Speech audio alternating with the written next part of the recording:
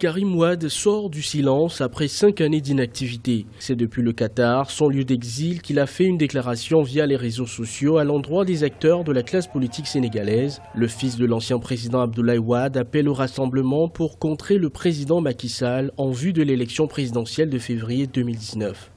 Il s'agit de rassembler tous ceux et toutes celles qui sont décidés à agir ensemble pour réaliser, dès février 2019, la troisième alternance voulue par les Sénégalais.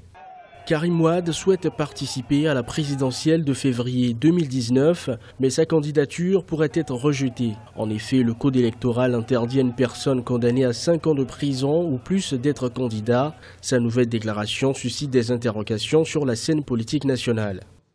De l'extérieur, il pense être le leader de l'opposition. Je pense qu'il se trompe lourdement. Je ne pense pas également que, cela puisse avoir un écho favorable au niveau de l'opinion publique au niveau de la classe politique sénégalaise.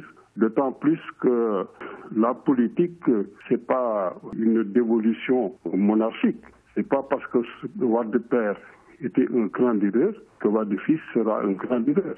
Le fils de l'ancien président Abdoulaye Wade vit actuellement en exil à Doha au Qatar. Il avait été condamné en 2015 par la Cour de répression et de l'enrichissement illicite à 6 ans de prison ferme et plus de 200 millions d'euros d'amende avant d'être gracié en 2016 par le président Macky Sall.